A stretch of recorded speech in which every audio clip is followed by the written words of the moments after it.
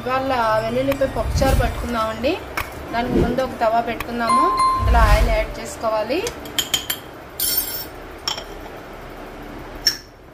Oil heat ఎక్కిన వెంటనే అందులో మనము అందులో కొన్ని మనము మెంతులు వేసు మెంతులు వేసుకోవాలి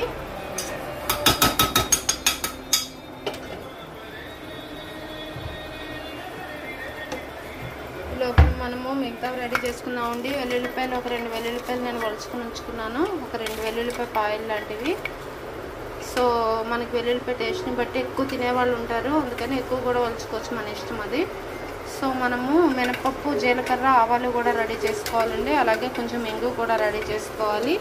పచ్చిమిరపకాయ ముక్కలు ఎండుమిరపకాయలు కరివేపాకు అండి. చింతపండు జ్యూస్ అండి. పప్పును మనం బాయిల్ చేసుకుని ఉంచుకోవాలండి. కందిపప్పు కానీ పెసరపప్పు కానీ ఏదో ఒకటి. నేను ఇవాళ కందిపప్పు కొంచెం పెసరపప్పు కూడా యాడ్ చేశాను.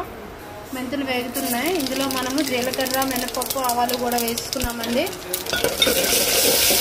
వేసుకుని బాగా ఫ్రై చేసుకోవాలి. చూసారు కదా?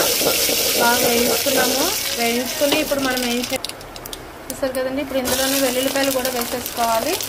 వేసేసుకుని ఇంగు వేసుకోవాలండి మనము వేసుకుని బాగా ఇవ్వాలి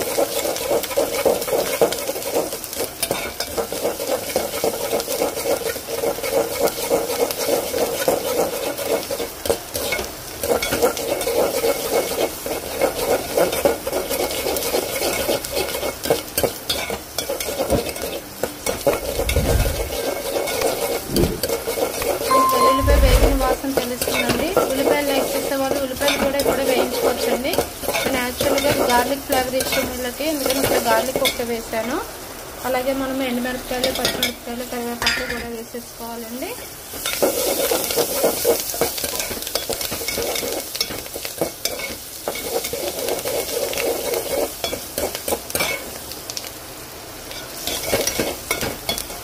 చూసారు కదండి వెల్లు గార్లిక్ వేగింది.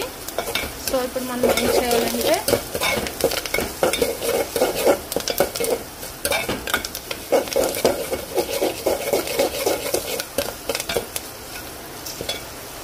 ఈ పప్పు ఉంది కదండి ఈ పప్పుని తీసుకొచ్చి ఇందులో యాడ్ చేసుకోవాలి మనము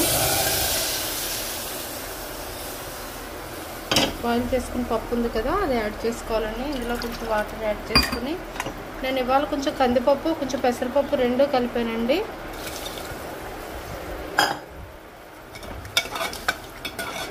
వేసాం కదా అలాగే ఇప్పుడు మనము చింతపండు పులుపు కూడా యాడ్ చేసుకుందామండి. యాడ్ చేసుకుని కొంచెం వాటర్ యాడ్ చేసుకోవాలి మనము. చూసారు కదండి మనం చిక్కదనాన్ని బట్టి ఇంకా కొంచెం వాటర్ యాడ్ చేసుకో ఎందుకంటే ఇది కొంచెం పెసరపప్పు కందిపప్పు రెండు కదండి. కొంచెం ఉడికేటప్పటికి కొంచెం చిక్కదనం వచ్చేస్తుంది బాయిల్ అయ్యేటప్పటికి. ఇప్పుడు ఇందులో మనము కొంచెం పసుపు కొంచెం మనము ఉప్పు యాడ్ చేసుకున్నామండి చూస్తారు కదండి ఇందులో ఇప్పుడు మనము ఉప్పు కొంచెం పసుపు ఒక కొంచెం అంటే కొంచెం లైట్గా రెడ్ చిల్లీ పొడి యాడ్ చేశానండి. చిన్న ఒక పావు స్పూన్ షుగర్ కూడా యాడ్ చేశాను. పులుపు పులుసులో వీటికైనా సరే లైట్గా షుగర్ వేసుకుంటేనే బాగుంటుందండి. సాల్ట్ మీరు టేస్ట్ తగ్గట్టు వేసుకోవాలి. ఒకవేళ సరిపోతే మళ్ళీ యాడ్ చేసుకోవాలండి. అయిపోయిందండి ఆల్మోస్ట్. ఇంక ఇది బాగా బాయిల్ అవనివ్వాలి. గార్లిక్ వాసన బయటకు వస్తూ ఉంటుంది అప్పుడు. ఇది బాయిల్ అయ్యే వరకు ఒక ten to fifteen minutes wait చేయాలండి మనం. చూస్తారు కదండి? టెన్ మినిట్స్ అయిపోయింది. వావ్. బాగా మరిగిపోయిందండి.